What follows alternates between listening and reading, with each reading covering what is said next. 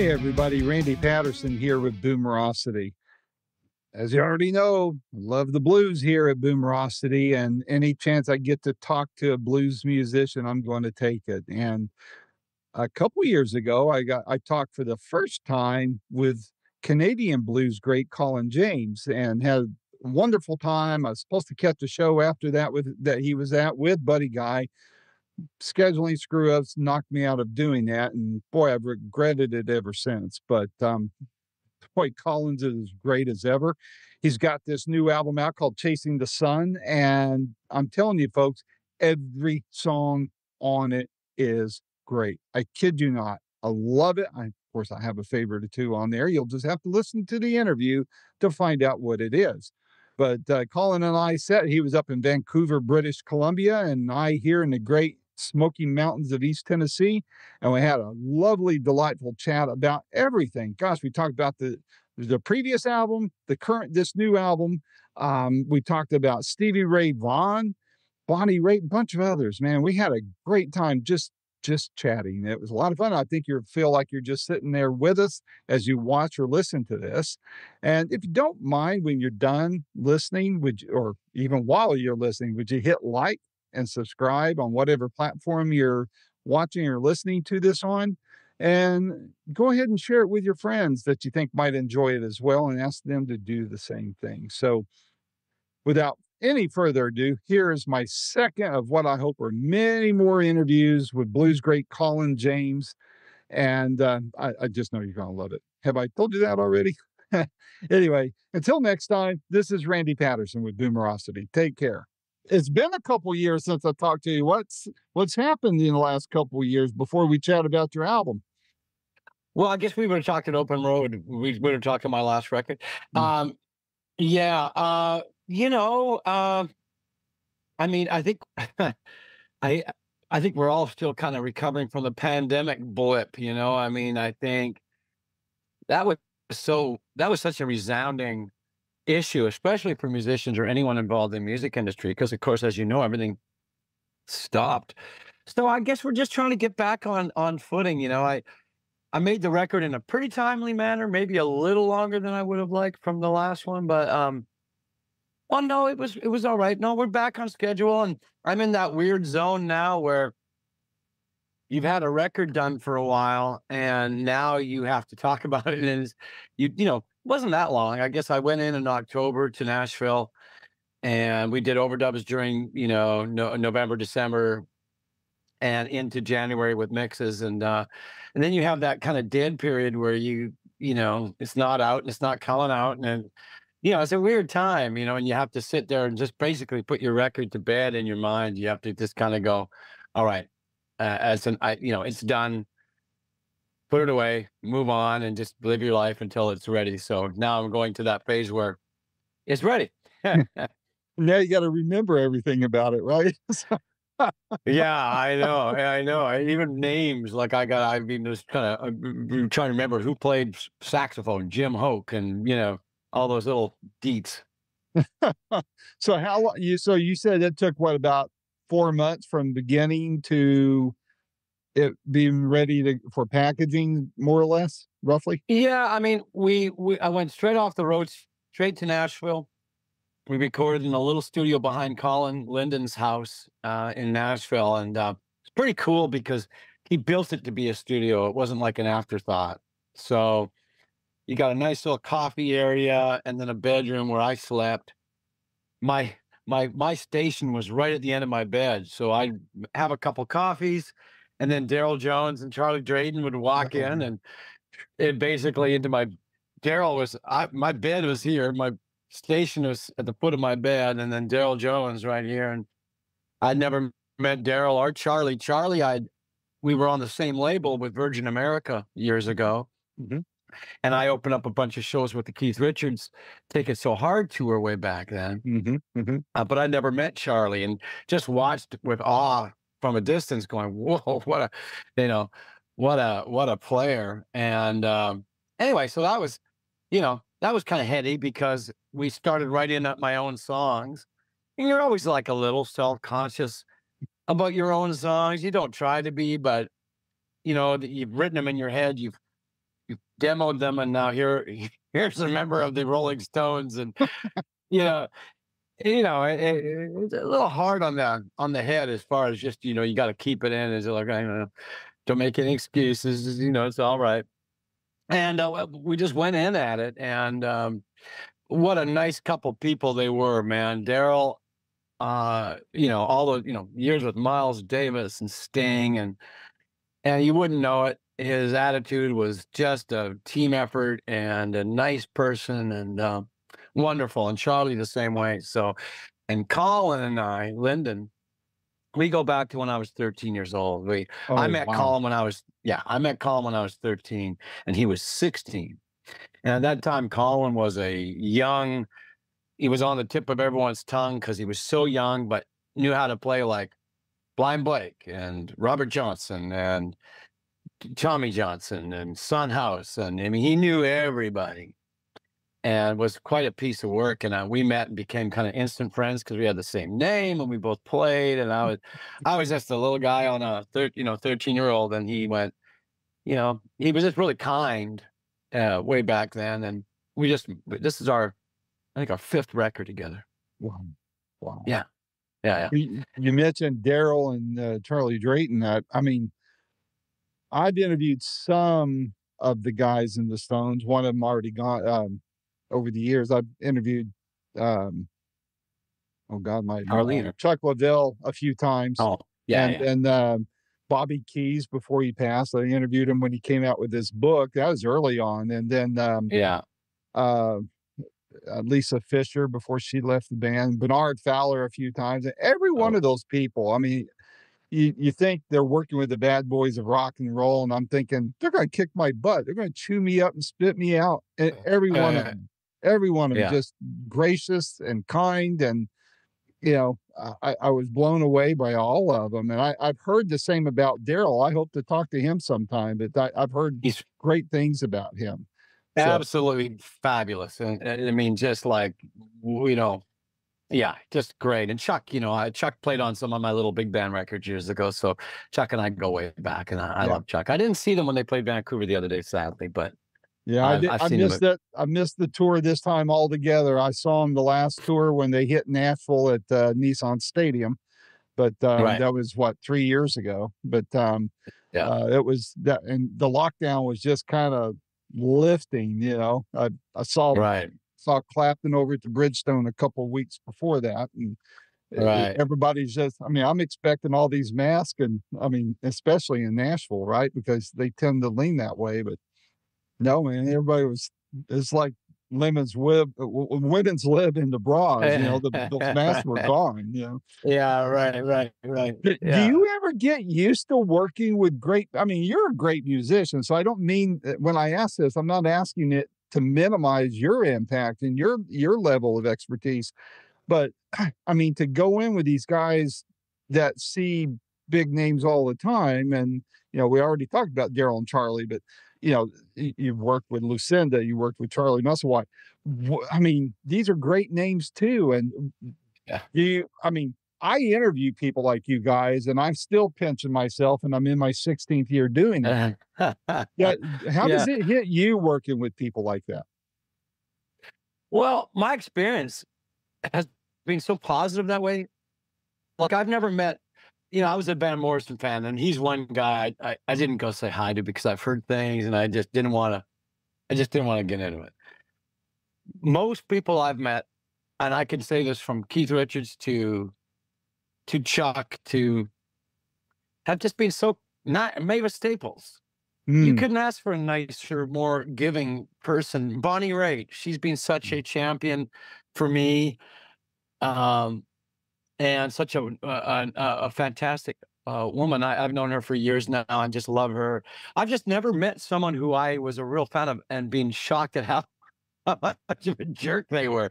It's Mm. just never happened to me yet. But uh, I'm sure there's always there's always room in the future but uh no i've just been lucky that way chuck i went back to chuck's house years ago and wrote songs with him down in in uh outside of macon there yeah.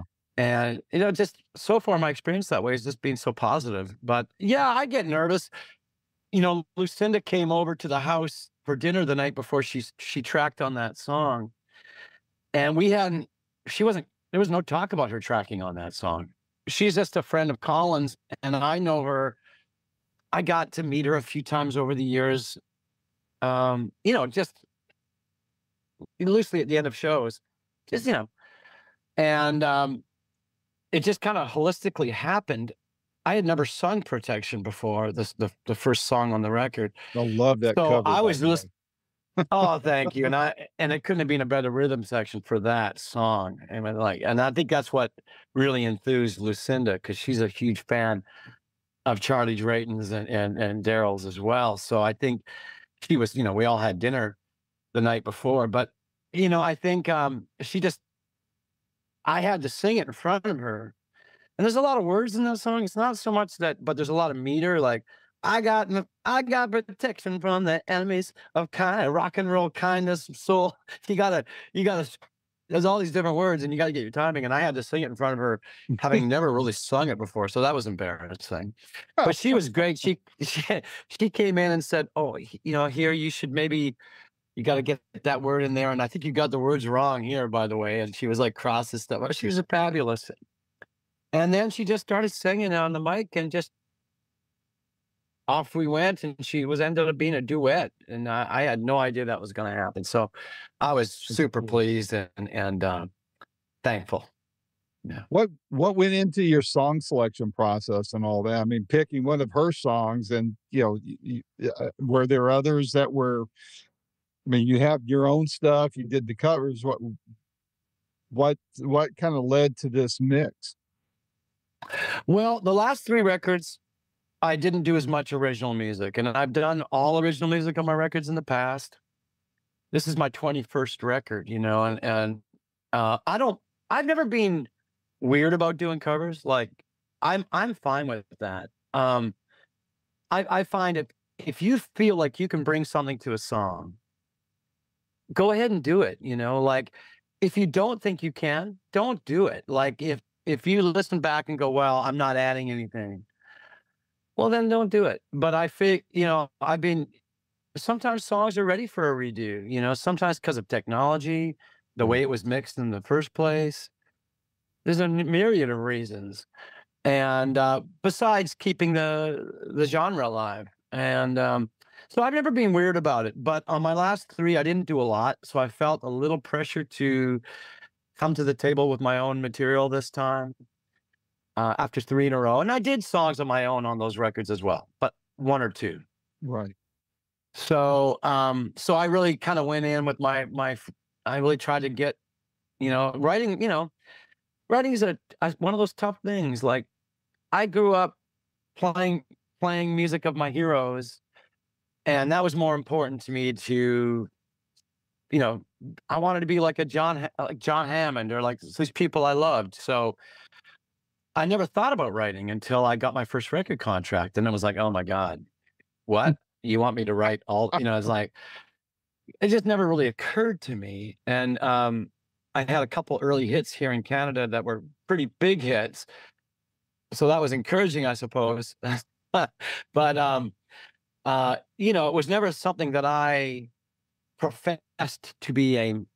Uh, it's hard. You got to work at writing, and it, it's like it just doesn't come on a platter. And Right. you, you, yeah, you got to have those disappointments. You know, for for every five songs you start, maybe one or two is going to be the one that you go, oh, hey, man, I really like that. So, um, anyway, that, I guess it's a long way of saying I, I wanted more this time, and and uh, tried to try to make that happen. And um, um, you know, it's it's an amazing process when it works, and uh, it's a, one of those muscles you have to keep flexing because I think singing always came relatively naturally to me, and then playing, and um, but writing is the thing you got to work on. I, I for me, People think it's easy, but I mean, I, I'm not a musician, but whenever I have to write an article or something, it, I, I mean, and I'm not trying to put notes to it or, you know, fix it into a certain cadence, but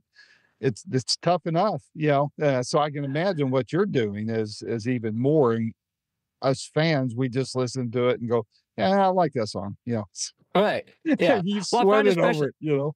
yeah. Well, I find especially in, in the blues idiom because Yeah. some of the you know Willie Dixon wrote the, the Bible on that, you know, and and and and it's always in its simplicity that it shines. You know, it's not a wordy thing. It's not a uh, so you got to you know in contemporary life, you could easily get too wordy. We have a different vocabulary now, and years have gone by, and and you got to be careful not to. Uh, I don't know. It's got to feel natural, Yeah. and I find the blues idiom can be so um, easily rife with tropes, or you know, black magic woman. You know, like there's so many uh, uh, ways you could fall into traps Yeah. Yeah. uh, and and and and and eventually be inauthentic if you're not careful. Yeah. So I, I think that's the danger. You know, really trying to trying to create a level that um, I don't know that you're happy with, Yeah. and uh, yeah, Well, blues, uh, you know, I'm I'm just still pleasantly surprised that you know it's been on a good, solid upward trajectory and not just cycled out real quick. You know, it seems to have, you know, it's always around, right? But it seems like the popularity would ebb, ebb and flow over the years. And now it's just been, you know, I think it's a testament to people like you, like Bonamassa, like Kenny Wayne Shepherd, all, all you guys that are in the genre and doing it and doing it extremely well and keeping it fresh, not just alive, but keeping it fresh. That's Yeah. what I think is key because keeping it alive, you know, it, it could just be on, you know, heart machine, right? And just sound kind of redundant. But but you guys are doing the heavy lifting on it and keeping it keeping it fresh. And that's what I love about the new stuff coming out. 21 albums. What surprises? Were there any surprises in putting this album together that you hadn't run into or were were pleasant surprises for you? I know, you know, we mentioned about who worked on the album with you, but were there any other surprises there? Well, I got I got to put a shout out to this one woman I uh, that sang, came and sang. I mean, the McCrary sisters in Nashville Oh, are fantastic. yeah, I've yeah. worked with them before, and they're fantastic. But there was a woman named Ruby Amanfu in uh, Nashville, a young lady who came in and sang on uh, um, uh, da, da, da, uh, what's the song on the record? I'm, I'm blanking on the name. She sings on a song on the record. And she had this be- beautiful, um, it- just a beautiful voice, and I, I got to sing with her on that song, and uh, um, I, I really enjoyed that. I mean, apart from that, I had to engineer a fair some of the record myself because you know I, I did all the all the work with Colin, and he had a beautiful U67 1960s mic. I came back here to Vancouver and I had a mm-hmm. nice mic, but it wasn't a U67. So Toy shopping. U6 I had to buy a U67 because I got mm-hmm. back here. I had a C12 and AKG, beautiful mic, tube mic like this is. But I realized that I wasn't going to be able to complete the vocals. Like we weren't completing whole tracks. We were just putting words in here and there. And I, I sent him a couple tracks and he says, you know, I'm really noticing a huge microphone difference. And I went, oh my God, I'm going to have to buy a mic. No, twist my rubber arm. At the, eh, at the end of the But day. so your wife is going, not only guitars like you're hanging in the background, now you're buying microphones. Why? Yeah, yeah. right. So well, a mic like that's a mic for life, and and um, so. But anyway, the long short of the story was I had to. I've never worked on Pro Tools a lot, so I had to kind of become an engineer because I had guitar overdubs to do. So I had to mic up my own stuff, set my own stuff, mm, put it on tape, consolidate, edit. Uh, so for me, I mean, I've done, I've always been a bit of a techie. I'm okay with that, but I've never worked on Pro Tools. And um, we had a direct single signal going with the guitar as opposed to the amps, just so in case there was a problem with the amps, he could he could reamp it. right. And that means now you're now you're editing more than one track at a time, which means you got to fold back the two things at once. hmm So I had a bit of a nightmare, like technically for me, but I learned a lot. And I guess at the end of the day, I, I'm way more um, capable because of it. So it was It a bit took of her hard, away from it for a while. Then you got to remember it all, right? you know what? You're absolutely right. It's already been two or three, two or three, four months, and I came in here to work the other day, and I went, "How do I turn that on?" I had to sit for five minutes, going logically. Okay, it goes from there to there. To, anyway, yeah. So So working that's in all. the, working in the studios. I mean, I I, I interviewed Andy Timmons a couple weeks ago, and the interview just posted today. Um, Yeah. But it, he did an old Beatles song, and he recorded it in Abbey Road. Oh, nice. Abbey Road, and he was talking about the microphones that the Beatles used way back then. They're still using them today, and so Yeah. you know, I talked to other people who've recorded in Muscle Shoals and, you know, all that. Do you find that for you, and especially working at Colin's uh, studio, and he's obviously recorded other people there, do you feel like there's kind of almost like a, a spiritual or sonic patina that's in a studio that you you feel it as a musician? You walk in there and it's very palpable to you. Absolutely. I mean, I, I actually my last record was mixed at Abbey Road Studios. Um, That's right. but I've forgotten about that. Yeah. That's right. Yeah. Um, you know, uh, yeah. There's the there's the studio itself and how you know, and there's just sometimes it's um, sometimes it's just luck. Uh, everyone in the room that day. I mean, what makes a track great? You know, that's y- you know, sometimes it's just the magic of of that day. For some reason, how everyone's playing together. I mean, I I cut a Van Morrison song years ago, uh, Into the Mystic, and Mhm. um, it did you know quite well and, and at the time we thought oh we'll just hide it in the back of the record no one expected much of it and it ended up doing more business than anything else on the record Wow. much to everyone's surprise and i think the beauty of that recording was it was live uh, it was the very last thing we did we had a long two days of tracking and i pleaded to my guys in the studio before we did it. I said i know everyone's tired. Would everyone mind if we just took another shot? Because we had tried it and it, and it wasn't working. And i said would everyone mind just trying one more time for the last thing we do of the day? And everyone said all right you know. And we got magic. And i don't know what it was that day but everyone leaned into the song in a certain way and the way the song lifted nobody could predict it it was it wasn't gear it wasn't microphones it was energy Yeah, yeah. so there's that there's techno- there's technology and a studio's a studio's uh, uh, ability to get that and then there's just magic and i love the fact that that's that one thing you can't quantify you know You can't predict it and you can't manufacture it either. no Yeah. you no you cannot It's just it's like chemistry that even with if it's the same people over and over, you know, it's like family reunions or class reunions, things like that. It just something happens, you know. The, only bad thing about that track, I can tell you, and I don't know why I'm going on about that, but it's an example. At one point in the song, we were having such a good take. I was so excited, and I leaned back to to do a a lick. It's too late to stop now. I, I sang that, and then I was so flat, and I don't, you know, I don't, I don't tend to sing flat, but I did, and I yelled the f f word so loud that it leaked into the drums. So we spent like a half a day trying to extract my uh, expletive. So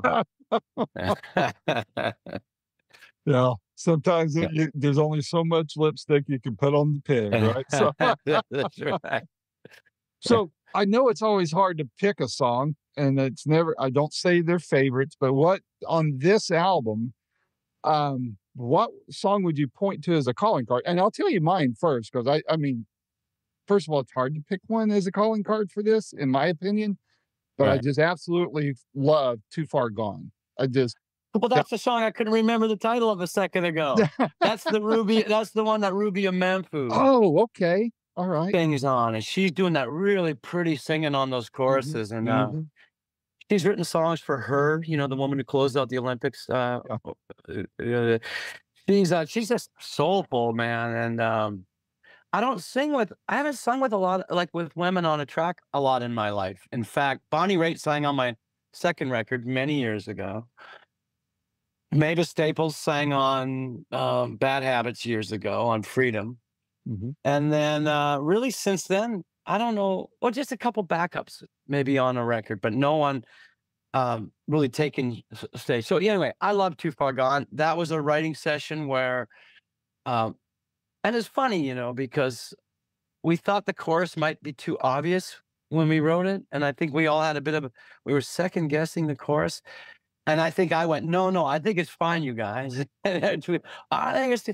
So we had a bit of an argument about it, but I to this day I think it's it's it's more than fine, and um, I'm glad you like that song because that's one of my faves on the record too, for sure. Just the feel, the vibe of it, the tone, everything, the style, you know, on the guitar, just the the everything about it. I I don't know how to describe certain things on guitars. The only guitar I play is an air guitar anymore.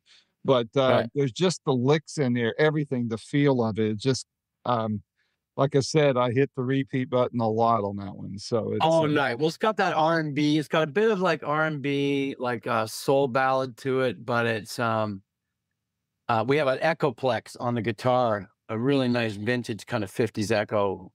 No, but I, I that one I was really that's probably the one I listened to the most really after the record. P- Protection, just because I couldn't believe I was singing with Lucinda Williams. You know, like I've been a fan of hers. What when I first heard Car Wheels on a Gravel Road Mhm. when I first heard uh Take Me Down to Another Night in Your uh um uh it's over over, but I can't let go. When I first heard Can't Let Go, I was driving my car and it came on and I went, Who the F is this? And I had to pull over.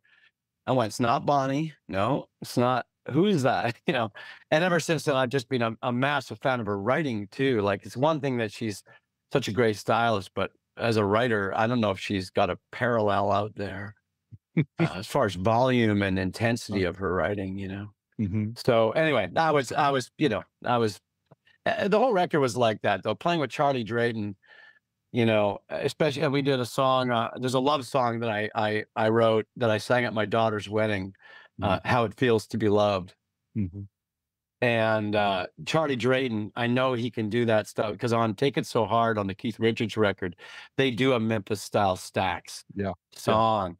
So I knew he would bring it to that song in a huge way. And he he took it down at the end of the song and he didn't tell anybody he was going to take it down, you know, uh, how it feels to be. And then he went, what? And he, and he, he hit down and went down in dynamics and uh, didn't warn anybody. So it's all natural what you hear. And that, that was, that was awesome. Very cool. Yeah, I mean, we keep going back to these names and these people. Who haven't you worked with that you that you still want to? You know, it's a hard question because, uh, I mean, I've never, obviously, I've never, well, I've sung with Mavis before. I, I, I love her. Um, a lot of the people like that I really, when I was like in my formative years, like John Hammond, I've had a chance to play with John Hammond. Not much, just on one track, on one thing. Uh, and got to know him over the years, and I, I adore him. And uh, Mavis, I've had a chance. Albert Collins, I got a chance to play with Stevie Ray Vaughan. I mean, I've been really fortunate. A lot of my people, I'm, I don't know. Um, I don't know. I've never had a chance to really. I knew Charlie Sexton years ago, and I've never really had a chance to. I should have gone back and said hi to him when he played with with uh, Elvis Costello. My ma- my management company manages Elvis Costello, and I, I didn't go back. I should have gone back and said hi because we haven't said hi in years. Um, Doyle Bramhall, I'm a I'm a fan of Doyle's. I've never had a chance to really meet him much.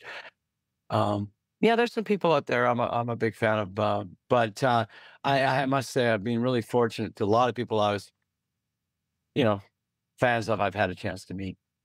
Very cool. Ry Cooder. I've never had a chance to play with Ry Cooder. I guess Oh. Ry Cooder. I named my son after him. yeah, my son's just- name's Rylan. you mentioned Stevie Ray Vaughan. I um, before I started Boomerocity, I was you know in Dallas, and uh, I actually went to his funeral. Right I did too. You were I was there? there. No way! Yeah. Wow! Yeah. yeah. The Lord's was, Prayer uh, by Stevie Wonder. And Yeah, uh, Stevie Wonder, Bonnie Raitt, and Jackson Browne singing Amazing Grace. oh yeah, One of the uh, coolest. Jeff- I walked up right when that happened. well, Charlie Comer, Stevie's publicist, Mhm. was my publicist. Ah, okay. I was supposed to play with Stevie a week after he died in London, England, at the Hammersmith. Wow. So I had finished up a tour with Michelle Malone, who's a, a Alabama gal. Mhm. Uh, is she a Georgia? Is she Alabama? She's from uh, Atlanta, Georgia. Okay. And anyway, we- we'd finished, uh, and that's when the accident happened, you know. And and me and my wife uh, went back to Vancouver, and then got a call that we, we straight to Dallas. So you were there. I was crazy. We- Yeah. Me too. I had I the pictures of it, but I lost them in the divorce. So Oh no. yeah, but yeah, I walked up. I got it. I actually had a picture of Stevie, Bonnie, and uh, and and Jackson. That I mean, I walked right up, had the camera with me, and I snapped that picture. They were standing there. Of course, they God. had, you know, the painting of Stevie with his hat, and it was all on a tripod, and you could see Yeah.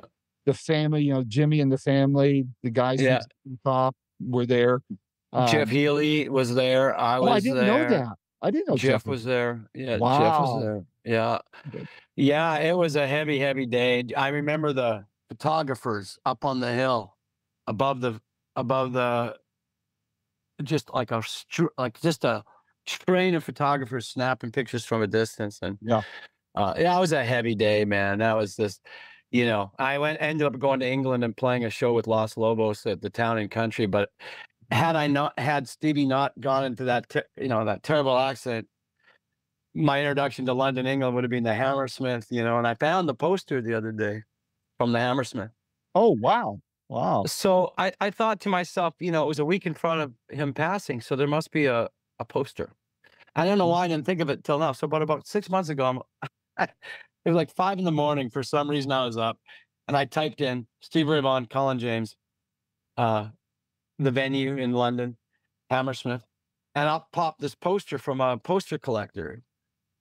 So I um, took a picture of the picture because they had done a beautiful picture, had it framed, sent straight to a canvas shop where they where they they made a poster and sent it to me. I got it in my garage. Oh, cool. So, yeah, it's very yeah, cool. it's kind of neat. But I've yeah, had the that's privilege amazing. of interviewing Jimmie Vaughan since then, three or four times. Got to meet him in person when he played here in in uh, Knoxville, which I live up in the Smokies. But Jimmie couldn't be a nicer guy, you know. Nice. And just, but man, I can't believe you were there at Stevie's funeral. Uh, People don't Yeah. believe that I was there, but I was there. I got in trouble with my ex-wife because I had the day off, and I was my daughter was off from school. She was preschool at the time. I was registering for college. I worked a full time job and was registering to restart my education. And um, and I had strict orders not to go to the funeral. Well, Oh, wow. my, my daughter expressed interest, and I wanted to be a good dad, so we went to the funeral. Right? Oh, there you go. Well, you, I think you made the right choice. Yeah, I think I did too. So- well, hey, um, couple more questions for you. Um, what do you? Ha- I touched on this earlier, but I want to hear your opinion of it, and that is, what do you think the state of the blues is today? Are you excited about it? Do you feel like we're are people taking too much for granted? Do you think uh, what what's your take on? it? it's a big question. Um, well, you know, obviously, you know, the, the form is always going to have new fans. I was talking to someone the other day, and technology has brought us a lot of good things, not just, I mean, sometimes it's bad, but sometimes it's great. A young kid now who's 14 years old can watch Son House, can watch Albert Collins live in Japan, can, you know, can get his hands on everything. When we were younger, you couldn't get your hands on anything. You had to go to the public library. You- I need to find a Chuck Berry record. Yeah, you you'd go through bins and yeah, you go through bins of used record stores. You'd never find what I, I at least I rarely found what I was looking for Same until we had the streaming services where I could figure out where that came from. You know, the bad thing, obviously, uh, is the fact that monetarily and and and uh, just making a living at this has become so much harder. It's so much harder for a young musician to get out in this world because so many people putting material out now and um, flooding the market and when there really is no market. Yeah. so those are the confusing things about it. And I think the budgets have gotten, you know, we have less money to work with when we make, a record now. So we have to find ways. And, um, you know, where it used to be, you could sit in a studio for three weeks. Now you got to get in and out in two days and take it home. Yeah. Um, so for me, making records is more difficult because I used to go do beds for a week. Then the band would fly home. I'd fly home, say, you know, hi to my wife. I'd fly back to where we're making the record and I'd spend two weeks with the producer sitting right beside each other every day from one to 5 or Mhm. one to eight. Now you got to do it on email. Hey, I replaced the solo it. on, yeah, I replaced the solo on that song. Oh, by the way, I think the harmony is sharp on the on the third. Uh, you know, and you have to do it in piecemeal now, and it's just difficult to get all the things you want to say to your co-producer long distance because the budgets aren't there now. Yeah.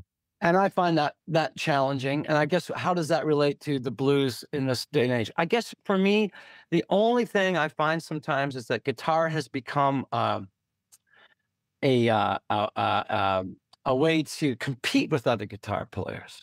Yeah. There's this this tendency to I'm gonna outshine you, or I'm gonna I'm gonna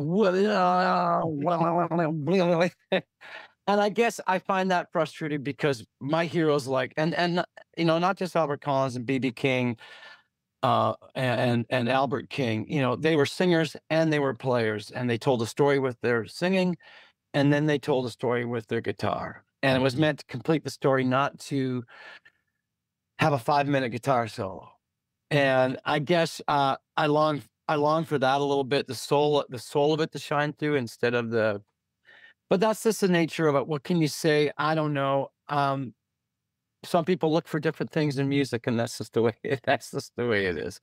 So Something I thought of though, I, I, didn't write this down, but it just popped in my mind. Are you seeing yet the impact of AI on what you're doing or what, you know, in the genre at all? I have not, and I'm I'm I, I imagine that you know they're gonna they're gonna go for the Katy Perrys and the the people who are gonna you know be mass worldwide Bruno Mars style successes they are gonna get AI first. I'm thinking.